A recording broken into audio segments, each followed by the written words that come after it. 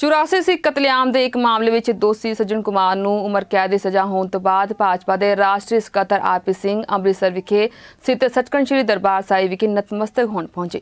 ਜਿਨ੍ਹਾਂ ਉੱਥੇ ਭਾਜਪਾ ਦਫ਼ਤਰ ਵਿਖੇ ਜ਼ਿਲ੍ਹਾ ਭਾਜਪਾ ਪ੍ਰਧਾਨ ਆਨੰਦ ਸ਼ਰਮਾ ਦੀ ਪ੍ਰਧਾਨਗੀ ਹੇਠ ਇੱਕ ਪ੍ਰੈਸ ਕਾਨਫਰੰਸ ਨੂੰ ਕਰਦਿਆਂ ਆਖਿਆ ਕਿ ਕਾਂਗਰਸ ਰਾਜ ਵਿੱਚ ਦੇਸ਼ ਦੀ ਰੱਖਿਆ ਦੇ ਨਾਂ ਤੇ ਰਾਫੇਲ ਜਹਾਜ਼ਾਂ ਦਾ ਸੌਦਾ ਹੋਇਆ ਪਰ ਕਾਂਗਰਸ ਇਸ ਸੌਦੇ ਨੂੰ 10 ਸਾਲਾਂ ਦੇ ਕਾਰਜਕਾਲ ਦੌਰਾਨ ਪੂਰਾ ਨਹੀਂ ਕਰ ਸਕੀ। ਪਰ ਭਾਜਪਾ ਨੇ ਸੱਤਾ ਵਿੱਚ ਆਉਂਦੇ ਸਾਰ ਦੇਸ਼ ਦੀ ਸੁਰੱਖਿਆ ਨੂੰ ਅਹਿਮ ਮੰਨਦੇ ਹੋਏ ਰਾਫੇਲ ਸੌਦੇ ਨੂੰ ਪੂਰਾ ਕੀਤਾ ਅਤੇ ਉਨ੍ਹਾਂ ਆਖਿਆ ਕਿ ਰਾਫੇਲ ਸੌਦੇ ਦੇ ਕਾਂਗਰਸ ਦੇਸ਼ ਨਾਲ ਗਦਾਰੀ ਕਰ ਰਹੀ ਹੈ।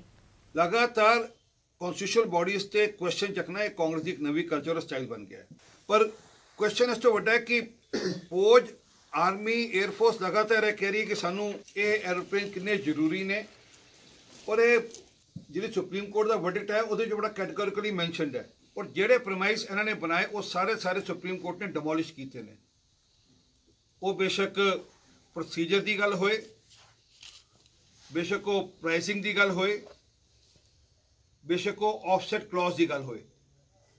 ਉਹ ਤਿੰਨੋਂ ਮੈਟਰਸ ਵਿੱਚ ਕੋਰਟ ਨੇ ਨਲੀਫਾਈ ਕੀਤਾ ਹੈ। ਔਰ ਕਿਹਾ ਕਿ ਇਹ ਤਿੰਨੋਂ ਮੈਟਰ ਸਾਡਾ ਸਾਡਾ ਕੋਈ ਸਾਨੂੰ ਕੁਛ ਇਹਦੇ 'ਚ ਗਲਤ ਨਹੀਂ ਵੇਖਦਾ।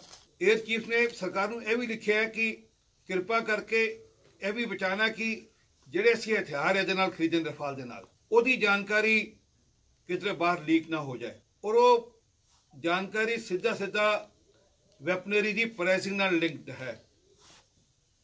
ਭਾਰਤ ਸਰਕਾਰ ਨੇ ਪਾਰਲੀਮੈਂਟ ਵਿੱਚ ਕੋਰਟ 'ਚ। ਲਗਾਤਾਰ ਕਿਹਾ ਹੈ ਔਰ ਕੋਰਟ ਨੂੰ ਇਸ ਮੰਨੇ ਕੀਤਾ ਪਰ ਲਗਾਤਾਰ ਝੂਠ ਬੋਲਣਾ, ਹੁਣ ਪਾਰਲੀਮੈਂਟ ਚੱਲਦਾ ਹੈ, ਹੁਣ ਪਾਰਲੀਮੈਂਟ 'ਚ ਨਹੀਂ ਕੁਐਸਚਨ ਚੱਕਾਂਗੇ ਇੱਕ ਵੀ ਉਹ। ਹੁਣ ਉਹ ਪਾਰਲੀਮੈਂਟ ਦੀ ਗੱਲ ਨਹੀਂ ਕਰਾਂਗੇ ਬਿਲਕੁਲ ਵੀ। ਪਰ ਇੰਨੀ ਗੱਲ ਸੀ ਤਾਂ ਪਾਰਲੀਮੈਂਟ ਦੀ ਗੱਲ ਕਰਨ, ਪਾਰਲੀਮੈਂਟ ਸੈਸ਼ਨ ਆਨ ਹੈ। ਔਰ ਉਹਨਾਂ ਕੋਲ ਕੋਈ ਐਵੀਡੈਂਸ ਹੈ, ਤਾਂ ਪਾਰਲੀਮੈਂਟ 'ਚ ਪੇਸ਼ ਕਰਨ।